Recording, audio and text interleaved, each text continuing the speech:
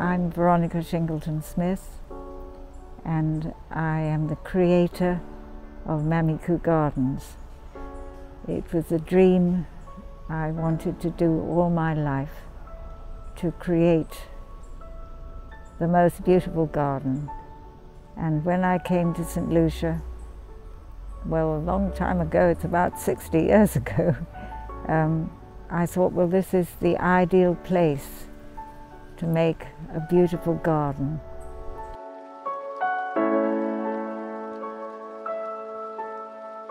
I was born in an unusual place. I was born in Jerusalem, Palestine.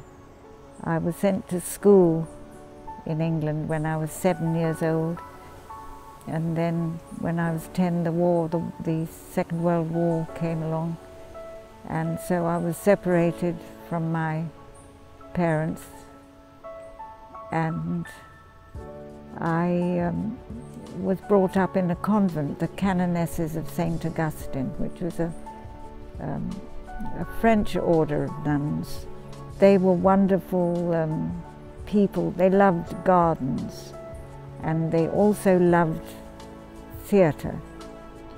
And they recognized in me that I had a little, a little talent and one of the nuns wrote an operetta which I was a star and I sang a little song called Dear Little Girls and Dear Little Boys, wouldn't you like to see some of my toys?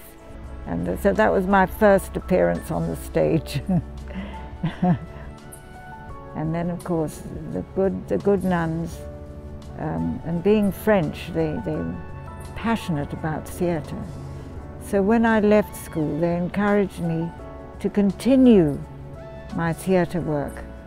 And they encouraged me to take the entrance to the Royal Academy of Dramatic Art in London. So eventually I got into the Royal Academy of Dramatic Art and that was a wonderful, wonderful experience.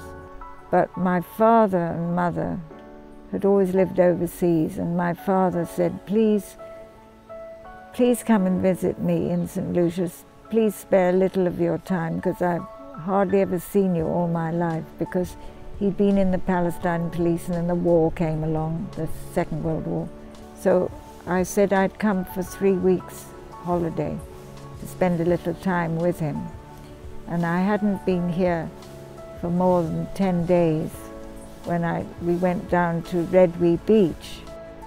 I was on the beach and I saw this man further up the beach and he looked at me and I looked at him. And that was it. That's why I'm still here in St. Lucia. we, we, we, we married in a whirlwind romance and we were happy all our lives. When I came to St. Lucia and I met Roddy and Derek, they, they were passionate about theatre.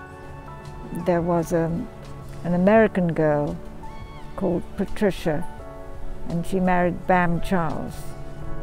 So Patricia Charles was just as passionate about theatre as I was. And she and I were passionate about theatre. And um, we, um, we formed the Creative and Performing Arts Society. And Pearlette Louisy um, she loved the theatre, but she didn't want to act or, but she loved to help. And uh, I have very happy memories of those days.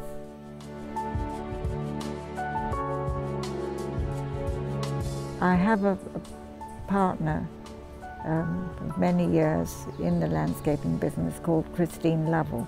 Her, her husband is a, a well-known architect in St. Lucia. They decided, I don't know who decided this, they decided to build on Reduit Beach Holiday Inn. They had to get a landscape architect from Barbados, so they brought this man over. So my friend Christine Lovell had met Richard Colan in Barbados because of the architectural connection. And um, we said rather rashly, we'll grow all your plants. and so he said, okay, fine. So he helped us a lot in showing us how to propagate plants, how to plant seeds and nourish them and care for them. And we grew all the plants for Holiday Inn. And that's how it all began. And then there came a time when I had spent so much energy making gardens for other people, other hotels. And I wanted to make my own garden. And so I had a wonderfully um, supportive husband, that was Michael Shingleton Smith. And he went full out to help me make Mamiku Gardens.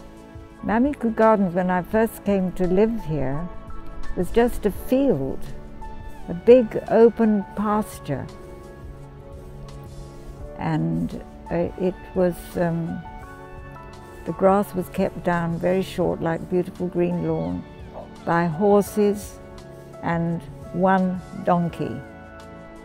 I think what I enjoy most is sharing it with other people, seeing the, the enjoyment of other people coming to the, a garden I've created.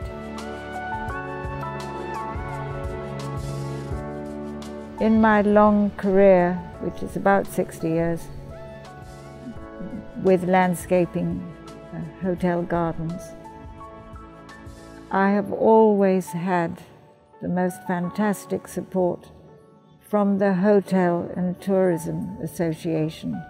And if, if ever I had any um, problems with management, Hotel and Tourism Association would always come to my support and explain to the new owner of the hotel what I'm trying to do. and I was very honored when they made me an honorary member. And I've got this big certificate that I have in my house.